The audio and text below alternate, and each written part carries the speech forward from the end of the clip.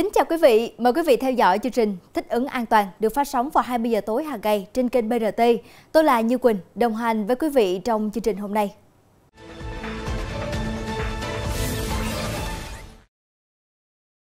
Thưa quý vị, theo đánh giá của Ban chỉ đạo phòng chống dịch COVID-19 tỉnh, tình hình dịch bệnh trên địa bàn tỉnh vẫn đang diễn biến phức tạp, số ca nhiễm trên địa bàn tỉnh tăng rất nhanh. Do đó, Ban chỉ đạo tỉnh xác định nhiệm vụ trước mắt cần tiếp tục tăng cường các biện pháp phòng chống dịch theo hướng quản lý rủi ro, tập trung ưu tiên mục tiêu giảm ca nặng, giảm tử vong. Trong 7 ngày qua, từ ngày 22 tháng 2 đến ngày 28 tháng 2 năm 2022, toàn tỉnh ghi nhận thêm 4.533 ca mắc mới, trung bình 647,5 ca một ngày. Trong đó, có 1.256 ca cộng đồng, 3.227 ca trong các khu vực phong tỏa và các khu cách ly. Riêng trong 2 ngày 25 và 26 tháng 2 ghi nhận gần 1.700 ca mắc mới. Bên cạnh đó, số ca chuyển nặng cần phải chuyển đến điều trị tại bệnh viện chưa có chiều hướng giảm.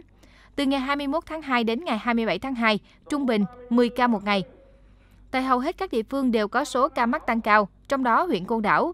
Do tình hình dịch diễn biến phức tạp hơn và đang ở cấp độ dịch vùng cam, huyện đã cho học sinh học trực tuyến từ ngày 22 tháng 2, sau thời gian học trực tiếp tại trường. Theo báo cáo của Ủy ban Nhân dân huyện Côn Đảo, từ ngày 15 đến ngày 24 tháng 2, số ca mắc mới trên địa bàn huyện đã tăng 330 ca F0 so với tuần trước, đặc biệt là ở nhóm trẻ em. Dự báo những ngày tới sẽ tiếp tục tăng.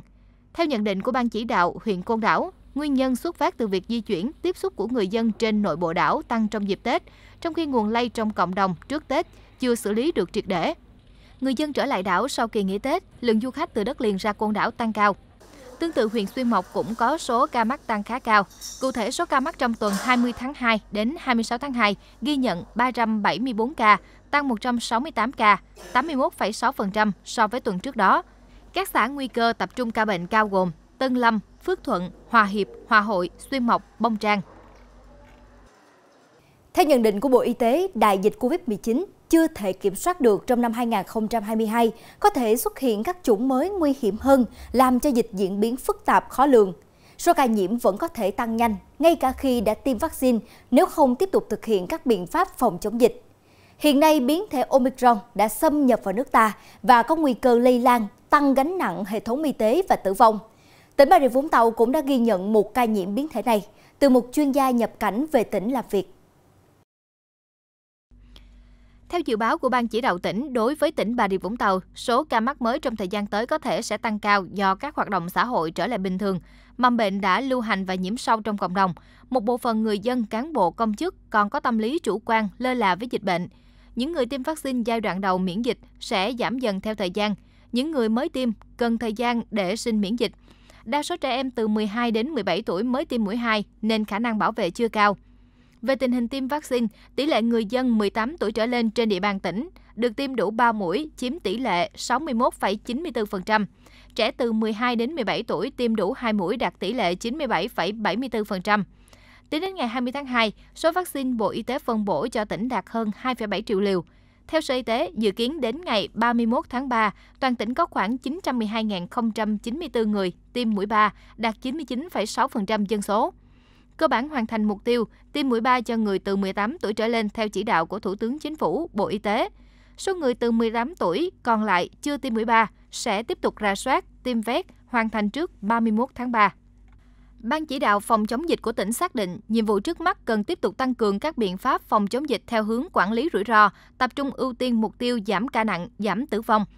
Theo đó, các biện pháp phòng chống dịch COVID-19 toàn tỉnh cần tập trung nâng cao năng lực giám sát dịch tễ, kiên trì thực hiện nguyên tắc thích ứng an toàn, linh hoạt, kiểm soát hiệu quả dịch COVID-19, thực hiện nguyên tắc 5K, còn vaccine, thuốc, công nghệ thông tin, ý thức của người dân, tăng cường giám sát, phát hiện sớm F0, đặc biệt là các trường hợp nghi nhiễm chủng mới Omicron và có quy trình xử lý cụ thể, xác thực tập trung nâng cao năng lực điều trị, kiện toàn các trạm y tế lưu động tại các địa bàn trên toàn tỉnh để sẵn sàng đối phó tình hình dịch diễn biến phức tạp. Đảm bảo tất cả F0 đều được quản lý, theo dõi, chăm sóc y tế phù hợp, nhanh nhất, sớm nhất ngay tại địa phương, xã phường thị trấn. Tuyệt đối không để tình trạng người dân xét nghiệm có kết quả dương tính mà không tiếp cận được dịch vụ y tế, không được cấp phát thuốc, không được quản lý, theo dõi sức khỏe. Thưa quý vị, Ban chỉ đạo phòng chống dịch của tỉnh yêu cầu ngành y tế và ban chỉ đạo các địa phương tập trung thần tốc hơn nữa trong thực hiện chiến dịch tiêm chủng vaccine, tổ chức tiêm an toàn, nhanh nhất, khẩn trương hoàn thành việc tiêm vaccine theo đúng kế hoạch, không để sót, đặc biệt người có bệnh nền, người trên 50 tuổi. Đồng thời, cần nghiên cứu đề xuất các giải pháp phòng chống dịch COVID-19 đối với đối tượng là trẻ em dưới 11 tuổi, đối tượng dễ bị tổn thương nhất khi chưa có loại vaccine phòng dịch COVID-19 chủ động có kế hoạch phương án tiêm vaccine cho trẻ em từ 5 tuổi đến 11 tuổi.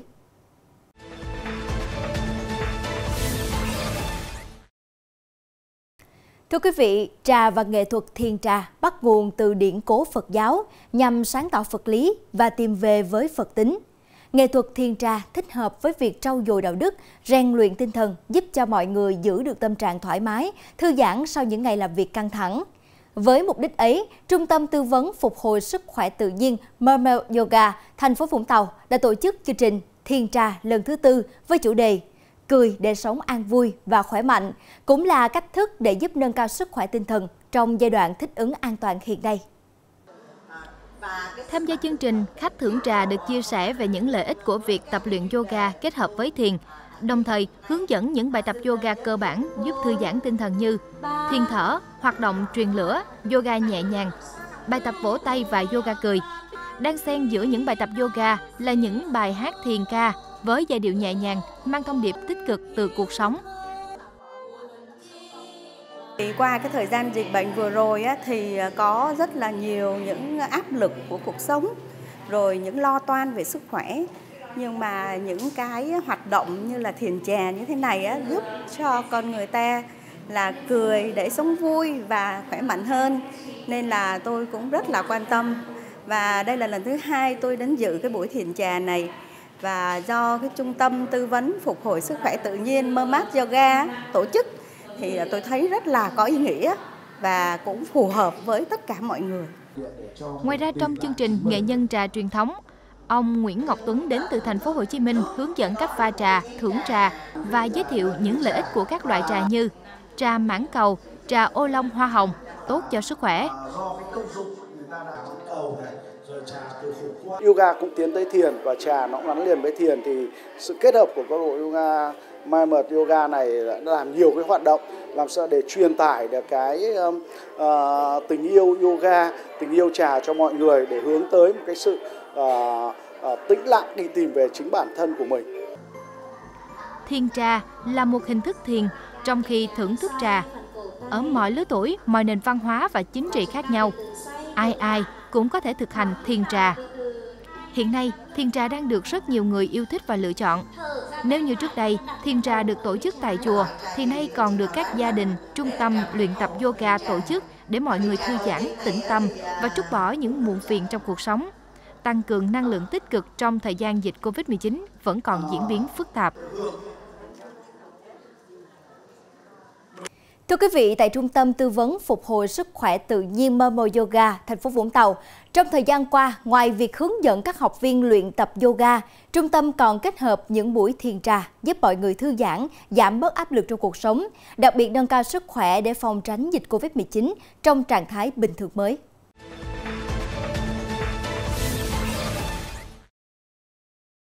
Thưa quý vị, tình hình dịch Covid-19 trên địa bàn tỉnh Bà Rịa Vũng Tàu vẫn đang diễn biến phức tạp, số ca mắc mới tăng đáng kể. Ban chỉ đạo phòng chống Covid-19 tỉnh đề nghị các sở ngành, ban chỉ đạo các địa phương ra soát, nâng cao năng lực điều trị F0, đặc biệt là F0 điều trị tại nhà, chủ động xây dựng phương án y tế theo từng cấp độ dịch, tập trung triển khai tốt công tác tiêm chủng vaccine phòng Covid-19 và bảo vệ người thuộc nhóm nguy cơ. Ban chỉ đạo tỉnh cũng đề nghị ngành y tế phối hợp với các sở ngành liên quan và các địa phương triển khai biện pháp phòng chống dịch tại cộng đồng, trường học, hướng dẫn cơ sở giáo dục vệ sinh, khử khuẩn lớp học, điều tra dịch tễ, theo dõi sức khỏe F1 để phát hiện sớm F0, hạn chế lây lan COVID-19, tăng cường kiểm soát dịch bệnh trong trường học, ký túc xá, khu công nghiệp, khu chế xuất, giám sát sự lưu hành các biến chủng mới để chủ động có kế hoạch ứng phó, nâng cao tinh thần cảnh giác, chủ động phòng chống dịch trong toàn xã hội mỗi người dân, gia đình, tổ chức doanh nghiệp cần phải cảnh giác, điều chỉnh thói quen để thích ứng an toàn trong tình hình mới. Người dân không nên chủ quan khi đã tiêm đủ hai mũi vaccine ngừa Covid-19, kể cả đã tiêm mũi tăng cường, vì tiêm vaccine không có nghĩa là miễn nhiễm với dịch bệnh và không lây nhiễm cho người khác khi mắc bệnh. Kính thưa quý vị, chương trình thích ứng an toàn đến đây xin phép kết thúc. Cảm ơn quý vị đã quan tâm theo dõi. Kính chào và hẹn gặp lại quý vị vào khung giờ này ngày mai.